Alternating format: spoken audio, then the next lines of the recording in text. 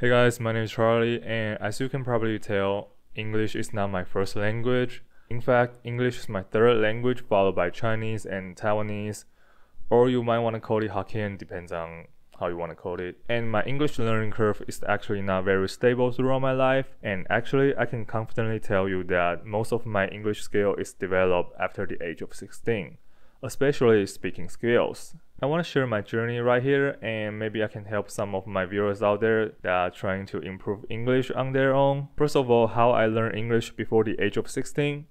Well, it's actually pretty simple. I just followed the school system and I can tell you the school system is worse than you think. And I'm from Taiwan, so a Asian country and most of the time our education focuses on the answer so we can pass the exam so they don't really care about things outside of the answer or the reason behind the topic so you just have to memorize the answer the equations maybe some maybe it's some specific event and that's pretty much it just memorize these things and shut the fuck up. This might help while you are building your vocabularies, but once you started to learn more versatile things like daily conversations, this ain't gonna work. And if they answer you with "I'm fine, thank you," and you, I can confidently say that they are 99% Taiwanese. So school doesn't help much here, but I still build some basic grammars and vocabularies, and I think this should be your foundation too. Just build some basic grammars and basic vocabularies so you can understand the very basic English sentences and English rules. And I highly recommend you start it from the most used English words out there, so you won't get freaked out when you see this at the beginning. And back to my English learning experience, I had a terrible teacher for the first three years of my English learning experience. She will hold a iron stick all the time, and if you cannot answer the question, she will slam that shit on your desk, and you will freak out. Like we're just 10 years old back then, and bro, what do you want?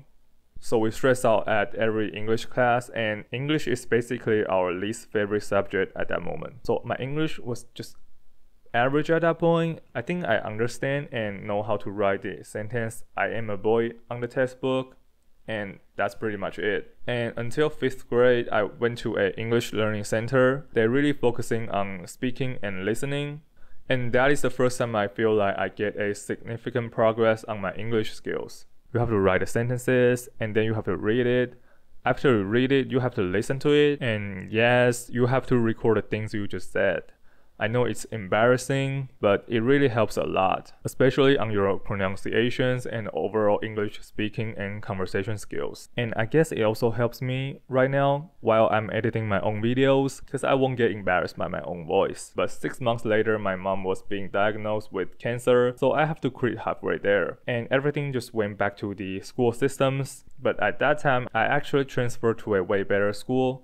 So the teacher there was nicer and they have a lot of patience and overall it's just a better school. The way we learned English there was using Discovery Channel and some other videos to learn. After we go through the textbooks, we watch the videos that are related to the topic we just learned. So we learn very fast, very quick, and very happy. Shout out to my teacher, his name is David. And also I met some cool friends out there. I started to play GTA San Andreas, even though I have no idea what they are saying in the game. And it was at that time I started to watch Discovery Channel, National Geographics, and other English channels with subtitles on on a regular basis. And by the way, I think it was peak Discovery era when they had Bear Grylls, Mythbusters, and some other nice shows out there that are broadcasting. As you can see, I slowly consume English content on a daily basis and this is very important on the long run. After I graduate from that school, things remains pretty much the same. I follow the school learning system and watch English channels for one or two hours a day while subtitle is on. In our school, they just force you to memorize the grammars and the vocabularies. I mean, it does help, but it doesn't help a lot on the long run.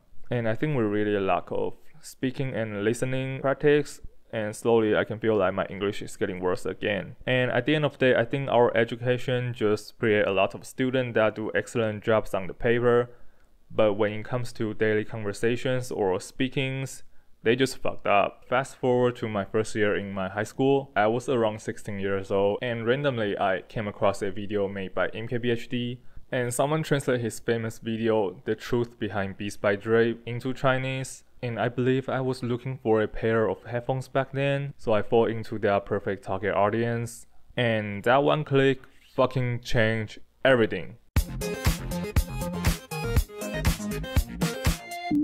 Like for real, everything. His production level, his editing, the way he talks, his b-rolls, the way he present his videos, and that is some god level thing back then when all I watched was some terrible edit gameplay videos with the dude shouting in front of his screen.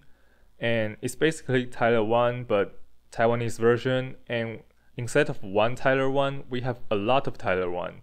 And sometimes I'll watch those Minecraft YouTubers whose target audience is like a 9 year old. So Marques MKBHD completely blows my mind. Like suddenly I realized that YouTube can be a place for other things outside of music videos and gameplay videos. And I remember I saw a comment saying that Marques speak very clear and very easy to understand English. So I decided to give it a shot.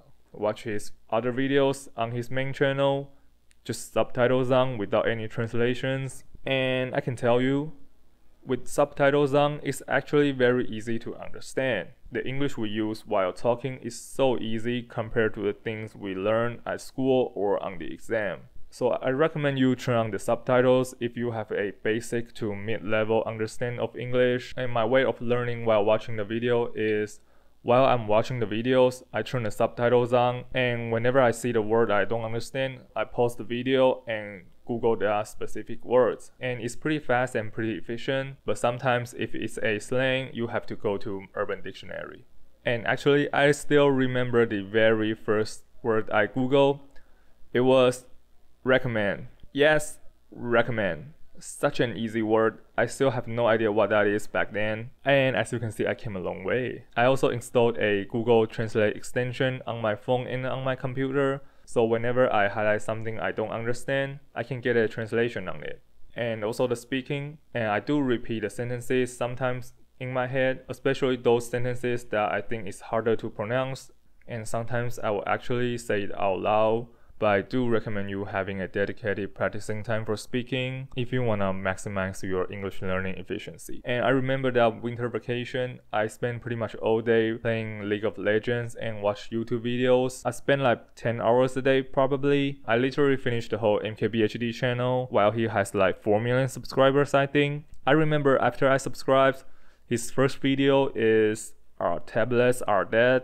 That was long long time ago. And later on, I started to watch his friends' videos like Austin Evans, John from TLD Today, and then some Casey Neistat. And God, I missed those videos from 2016 and 17. Anyway, later on, I decided to set my phone to full English mode and started to get info from English websites. I read pretty slow and I have to use Google Translation a lot, but when it comes to the quality of information, I think it's totally worth it. And actually, I realized that I've been limiting myself for way too long. Now I understand things in English. I can get much more info on the internet. So my new daily habits become watch English news and watch full English YouTube content and put myself into a nearly full English environment. It actually helps a lot on my English skills in a different way because we used to learn by textbooks and textbooks are great, but they are just great for the foundations. But actually, I think they are very terrible at the everyday life. They probably won't tell you how to say what's up to your friend and the current meme trend and current slang. And actually, the best way to learn is watching videos. So you will have an idea of how people actually talks in real life. I think this applies to every language I believe. So I would recommend you just find a topic that interests you and find a YouTuber or bunch of YouTuber that you like and you resonate with, turn the subtitles on and enjoy. Or maybe you don't need subtitles. By the way, if you don't need subtitles, please don't waste time on this video. It just doesn't help. Please don't waste your time on this video. For and for me, these peoples are MKBHD and Casey Neistat.